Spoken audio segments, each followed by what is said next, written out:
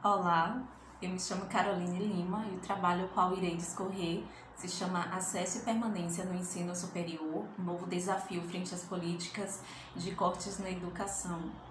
Esse trabalho foi produzido por mim e pela colega Deise Maria da Conceição. Somos discentes do sexto período de serviço social da Universidade Federal do Recôncavo da Bahia.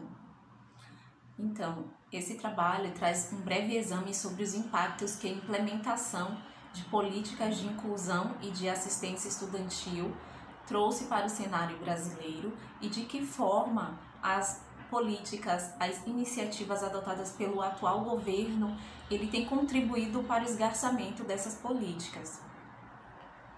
A pertinência desse tema se deu pelo nosso engajamento e contato com um grupo de estudos que trata especificamente dessa temática.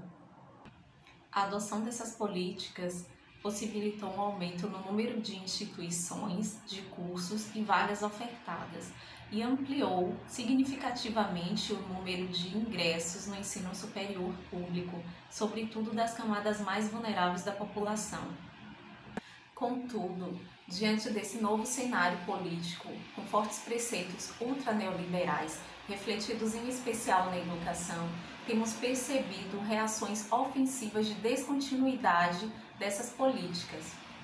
Assim, as análises propostas nesse trabalho nos permitiu concluir que as políticas de acesso e permanência possibilitaram a expansão, democratização e equidade do ensino superior. Entretanto, os processos paulatinos de redução orçamentária apontam para um retrocesso nas políticas de educação e tensionam a evasão dos beneficiários desses serviços, fragmentando o seu processo de pertencimento e inclusão na universidade.